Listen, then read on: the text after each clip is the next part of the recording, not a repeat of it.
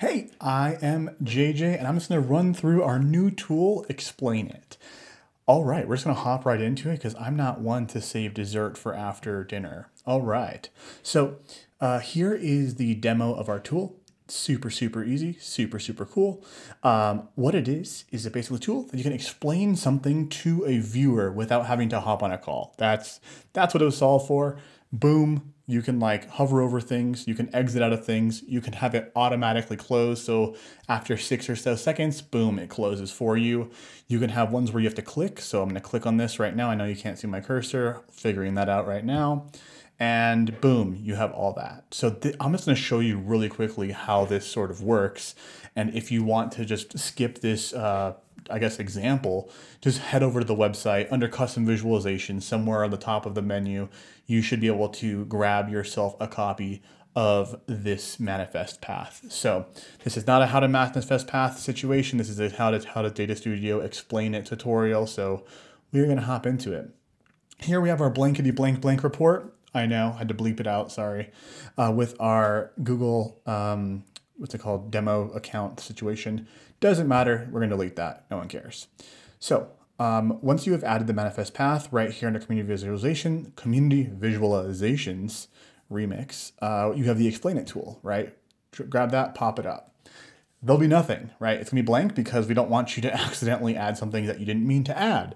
So all you got to do is you can add in any dimension you'd like to at all, um, and it will just show up, right? So by default, it'll have this like error for the sort, um, but don't worry about that. Doesn't matter because data doesn't, we're not referencing data at all um, to this tool.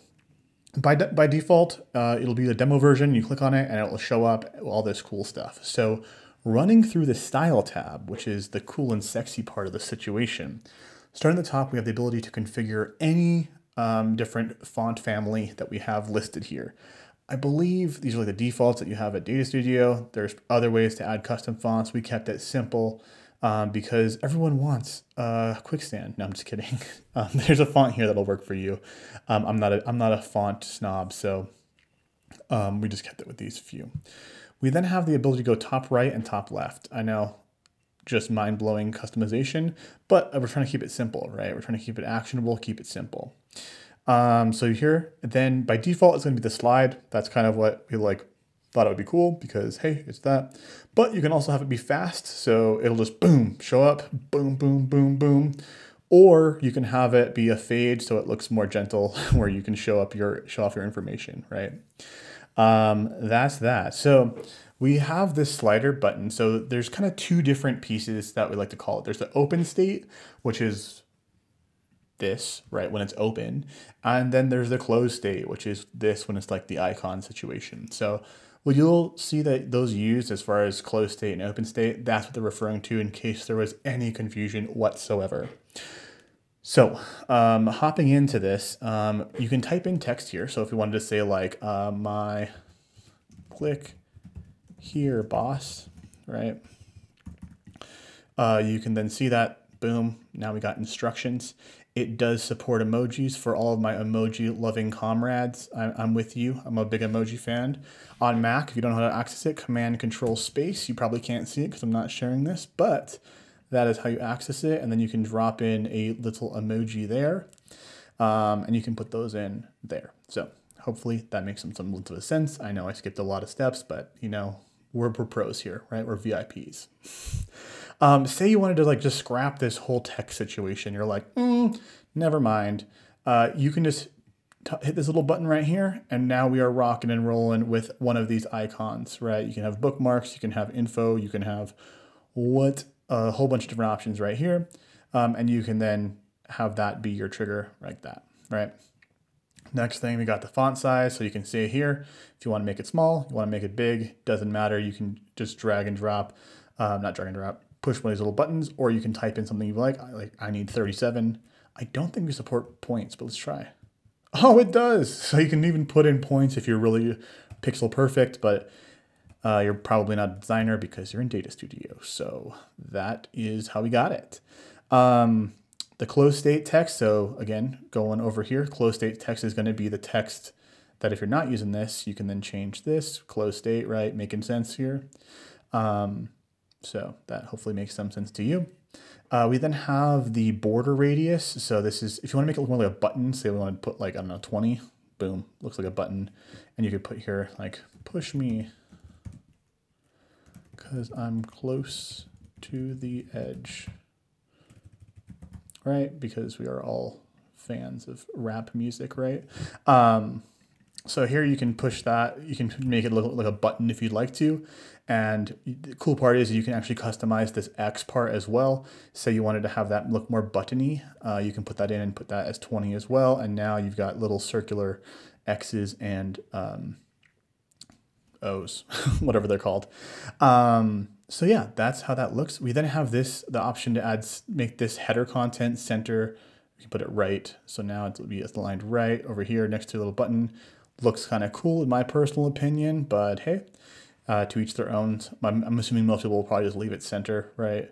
Um, so that you can be like, hey, here's the header. Uh, there you go.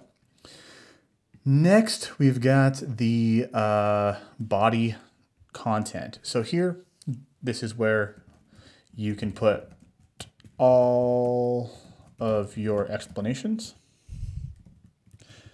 X, I can't spell. Um, so here you can see that we got the content header and we've got the HTML here. So by default, uh, most HTML situations work, right? So you can put in here H2, if you know how to use HTML, H2, boom. And now it looks big because it's the H2. Then you can put in a break, BR, and you can put, put more info below, right? So now we are kind of stylizing it to look more, but you don't even have to do that, right? Um, so that's that's an option, right? And then over here under our advanced CSS helpers, this is honestly 80% of what you're going to use. So um, don't feel bad if you don't know what you're doing because I frankly don't either, right? So we're all here together. Um, we then grouped all the different little fonts um, uh, not the fonts, all the different colors together. So if you wanted to, you can make this white and then make the thing black and then make this black. And I think I got them all right. And now it looks like a header, like it's kind of a secret button, right? Where you're not like actually uh, making it like a button, but it's a header that you then have extra info. So that is one way to do that. We have automatic close. I believe it's right now set to six seconds. So that might be long for some people, might be short for others, but six seconds is where we're at. Um, we have the icon, uh, if you want to use that. We then have the open state shadow, which is pretty neat if I don't say so myself. So you can add in shadow to the background, like boom, looks pretty sexy in my personal opinion. Um, and so then you can have this be over another chart and then separation between foreground and background. Like, look at that. Who wouldn't want your beautiful dashboard, right?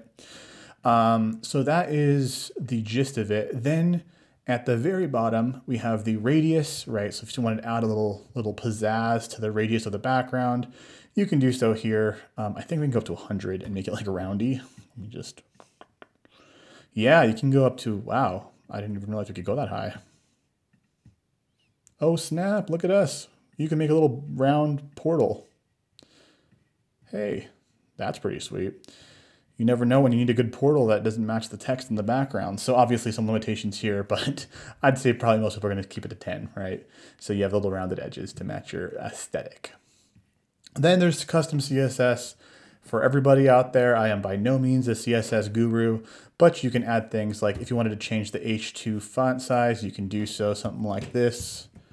I hope I don't mess up because let's just say we want to make it 12px. Let's see, did I do it right? Probably not. Oh well, don't add a dot there. Someone who knows CSS help. Well, basically you can add different, uh, all of your custom CSS needs. Oh, is it because I did that?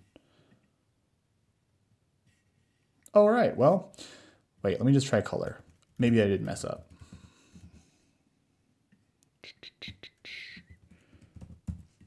Haha.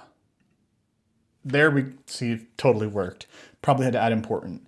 So you can customize things to your liking if you'd like to like kind of make global um, pieces. It only affects each individual explain it tool. So you can say, for example, make H2 red on this one and purple on the other one without having any fancy dancy uh, like pieces. You won't have to customize any of these default element, not Elementor, default uh, Data Studio pieces because they don't affect anything. So that is the overview, guys. So I've got a whole bunch of demos over here. You can go through all of this and see our examples of headings and etc. I hope it at least makes some semblance of a sense. This is just a quick overview of everything you're about to get by filling out a form on the website. So that's the hook. Um, all right, I think that's it. So if you have any questions, feel free to fill out the form and then hit reply and I'll respond probably eventually. Um, I usually respond within, I guess, 48 hours is kind of the situation for Data Studio VIP. Um, if you have uh, a use case outside of these, please send it to me and I can update the docs and add in your custom CSS and HTML that makes it look chef's kiss or whatever the name of the, the saying is that kids say nowadays. All right. Have a good evening, everybody, and I will talk to you next time.